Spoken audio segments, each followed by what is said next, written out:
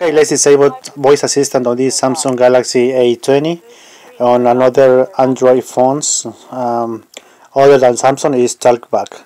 Alright, so the quick um, shortcut to disable uh, voice assistant is pressing the volume up and down at the same time for 3 seconds with the screen on. So screen on, volume up and volume down at the same time. 3 seconds. If you don't get any shortcut at the bottom of the screen, you should get a, a message like this okay? So just uh, select use and the voice assistant will be disabled immediately.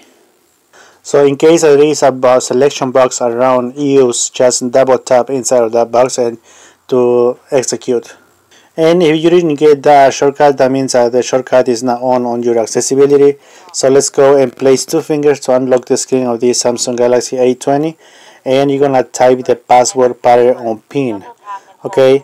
On this uh, keyboard you automatically uh, uh, touch one letter and automatically gonna type on the bar. Other Samsung Galaxy you actually have to uh, double tap two fingers unlocked. Double tap I mean select one letter and then double tap. Select double tap on another keyboards but this one only allow you to uh, to be one touch one key okay? So remember to uh, use both options in case uh, if the first one doesn't work just use the second one. Okay hit the done when you're ready okay?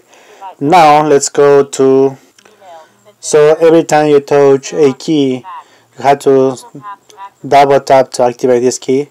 Place two fingers and open all the uh, keyboard I mean applications um, screen and find settings okay? Find settings highlight settings double tap settings place two fingers to move up and down screen find accessibility double tap accessibility and then the first option is screen reader double tap screen reader and voice assistant highlight voice assistant and then double tap on the left side of this icon and you're gonna see turn off voice assistant and then double tap Okay, this is how to disable voice assistant. Just a quick show in case that your keyboard requires double tap to enter any letters or numbers. Like this one you have to select B, double tap and then you're gonna show on the bar. So select double tap, select double tap, select double tap, select double tap.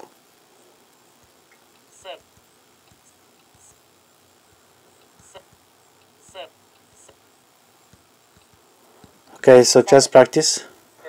Okay be very patient on this uh, Samsung keyboard. Let's go. I'm gonna really show you. So it's a highlight a letter and then double right ties. Again keep touching.